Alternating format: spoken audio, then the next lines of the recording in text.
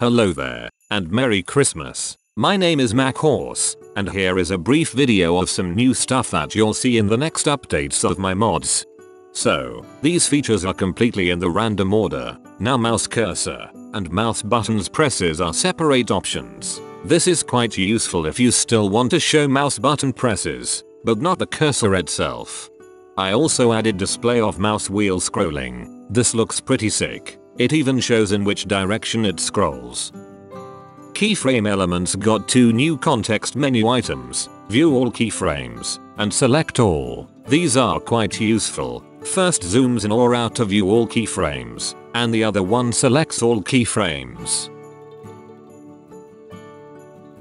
These actions can be also used by hovering the cursor in the view and pressing following keys. Speaking of keyframes, another cool thing is that manual movement recorded with manual fixture can be converted to keyframes. This allows you to post-process manually recorded movement and adjust it to your liking. Still within the camera editor, I added tick markers which should allow you to navigate within the timeline much easier when zoomed in.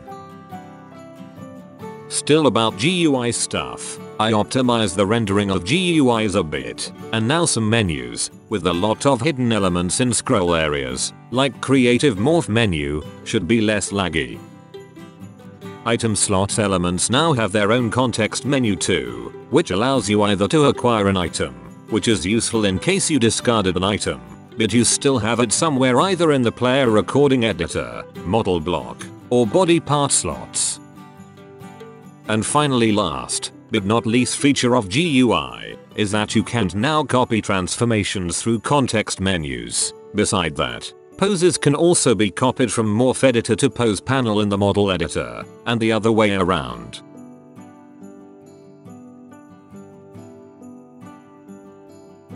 Now some neat features that are not necessarily our GUI quality of life features.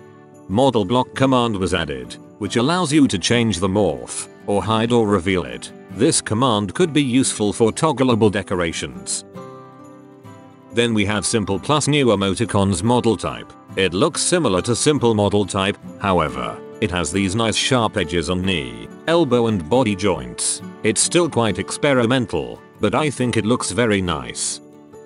And finally there are two really amazing and neat features, which are tightly connected. First one is animation preview in the sequencer morph. A lot of people prefer using sequencer morph for fight scenes, as it's easy to set sequence of morph animations, so I added it to make animations much easier to preview.